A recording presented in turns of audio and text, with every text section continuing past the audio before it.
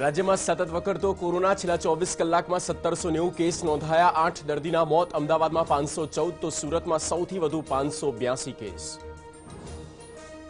રાજ્યમાં મર્યાદિત સંખ્યા સાથે પ્રગટાવી શકાશે હોળી, પણ ધૂળેટીની ઉજવણીને મંજૂરી નહીં. ગુજરાત સરકારે જાહેર કરી માર્ગદર્શિકા.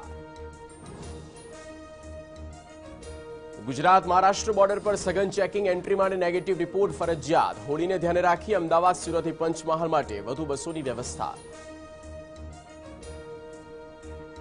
રાજ્યમાં કોરોના પાછળ સરકારે કર્યો બસો અગિયાર કરોડનો ખર્ચ અમદાવાદમાં દર્દીઓના મોત મુદ્દે કોંગ્રેસના સવાલ કહ્યું ખાનગી હોસ્પિટલોને ફાયદો કરાવવા આંકડામાં ગોલમાલ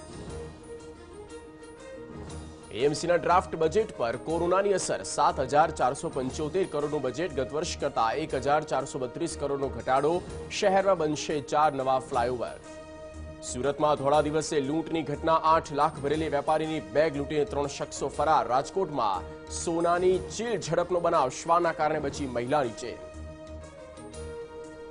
દમણમાં ડિસ્ટિલરી કંપની પર સપાટો સીબીઆઈ, જીએસટી અને આવકવેરા વિભાગના દરોડા એકસાથે ત્રણ ટીમ ત્રાટકતા ફફડાટ. અમદાવાદમાં ઝેરી બનતી હવા, એર ક્વોલિટી ઇન્ડેક્સ બસો ચોરાણું પર પહોંચ્યો. મુંબઈ, પુણે કરતા પણ વધુ અમદાવાદમાં હવાનું પ્રદૂષણ.